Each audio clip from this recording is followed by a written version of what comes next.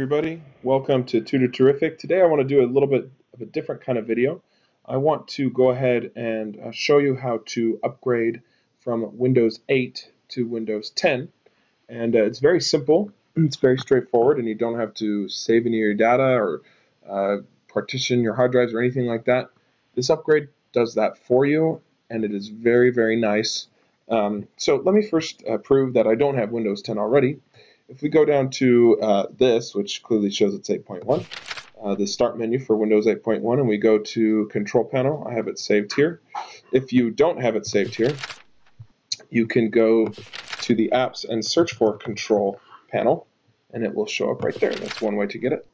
Now, if you go to system and security, and you go to system, click the green button for system, uh, you will see that I have Windows 8, and you will see what type of processor I have, the installed memory, which is a problem. This is a little note, netbook, but that doesn't matter for this.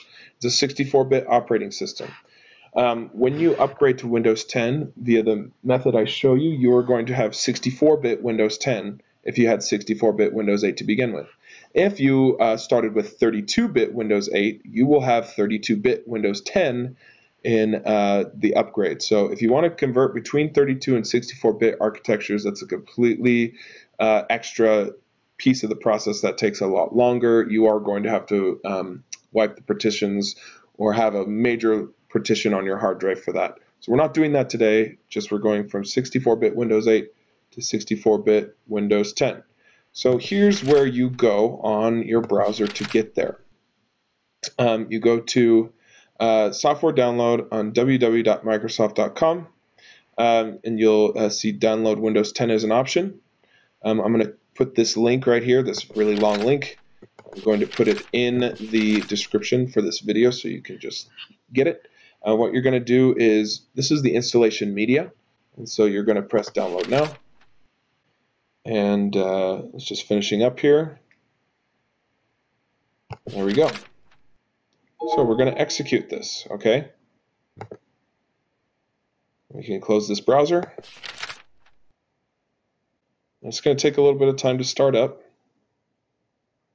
As you can see, this is sort of Windows 10 font, Windows 10 uh, colors. And it's just getting this stuff ready. So again, notice how I'm not like frantically like saving an image of my hard drive or creating a system image or backing anything up. You don't need to do that. Windows 10 does not erase any um, partitions on your hard drive. It creates a partition for Windows 10 system files and it saves all of your programs, it saves all of your files. Um, it's a really, really easy upgrade. It will eventually go to the next window. And that window looks like this. So uh, these are the basic terms. Um, you're going to uh, not need to read through those, just go ahead and click accept. Um, now, one thing a lot of people worry about is product key. You have a product key for your current version of Windows 8 or 8.1.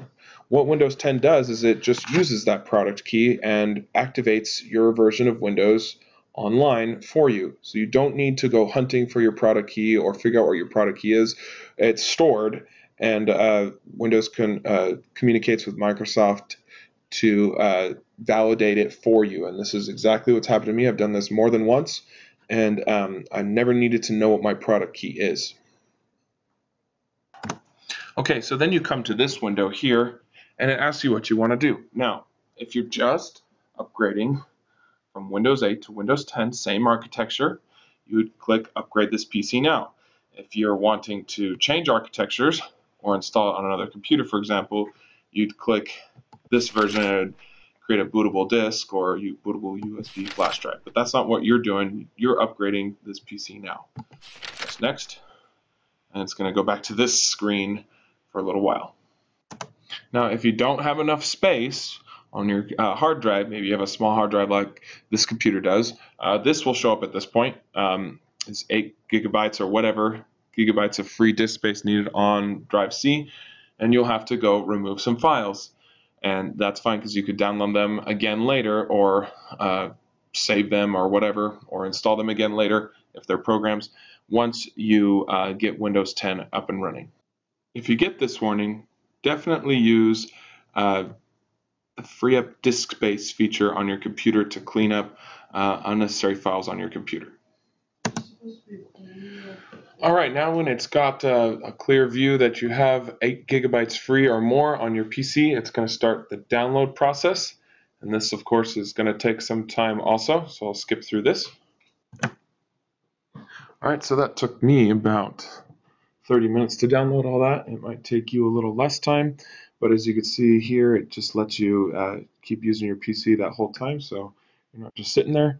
Now um, it's going to do a verifying procedure, and that's going to take a decent amount of time as well. Not quite as long as the download, but it will take some time. At some point during this process, it's going to switch over to saying it's creating Windows 10 media. Uh, not to be alarmed, that's the same thing. And um, it does it in batches, so you'll see the progress shoot up like it is right now. Um, uh, just continue on as normal. Okay, and so now it's finished that. Now it's uh, saying this. It's going to clean up before it closes. And it's pretty soon the computer's going to shut off. It's going to start uh, doing Windows 10. So I'm going to switch over to my phone, of course.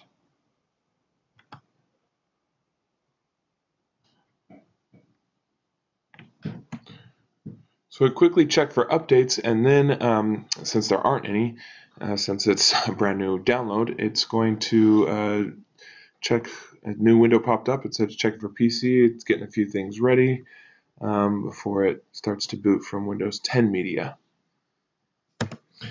Then you're asked to sign um, another set of licenses, which um, helps verify that your product key still works. So press accept on that. And then it checks for more updates. As Windows loves to do, it loves its updates. So it's going to take a minute to do this. All right, so the next one that shows up is this one, making sure we're ready to install. It's not really giving me percentage progress on this one. Just uh, tell me to wait, of course. Lots of waiting. Depending on your processor speed, your obviously your wait's going to be longer or shorter. Next, it's going to make sure your PC has enough space and it looks like uh, my computer needs more space for the update. So as you can see, it's given me the, uh, oops, this page pops up from Microsoft. Um, what it does is it gives me these options here to uh, free up more space and I've already done that because I didn't have enough space on the hard drive. You need 8 gigabytes like I said earlier um, and then it needs an additional 10 gigabytes just to download the update and then install it and then it will uh, not need that room once it puts those updates in. So I'm going to insert a flash drive with enough space here, and it's going to uh, make that clear to me what the drive is, and I know there's nothing in there, and so um, that is my drive for sure, and going to press continue. It's going to install Windows 10 Home. It's going to keep all my personal files like I want because I want this to be a smooth and easy process. And uh, we're not going to be using the PC after this. So after I press install, I'm going to uh, stop this video and turn over to my um, phone. Let's begin. So as you can see now on my screen, this is what happened after I pressed install. It uh, um, took away my ability to use it and uh, now it's installing Windows 10 for real and it's going to restart several times during this process so there's no need to worry about that uh, nothing's wrong um, and it's definitely going to take a while. It says this this might take a while. Oh it's definitely going to take a while. Um, so we're just going to let this process continue and I'll check back in with you when it's almost finished after the first restart, it's going to start installing some updates like you normally see on Windows computers um, when you are shutting it down. Um, please, as it, the warning says, do not turn your PC off during this time.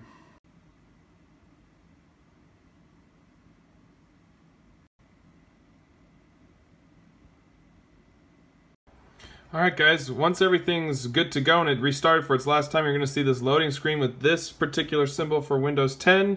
You'll have to do a few minimal sign-in things before you start working with Windows 10, guys. that's how easy it is. You'll see all your stuff there ready to go. Um, nothing's been moved. All your files are still there. All right, guys. Thanks so much for watching. This is Falconator signing out.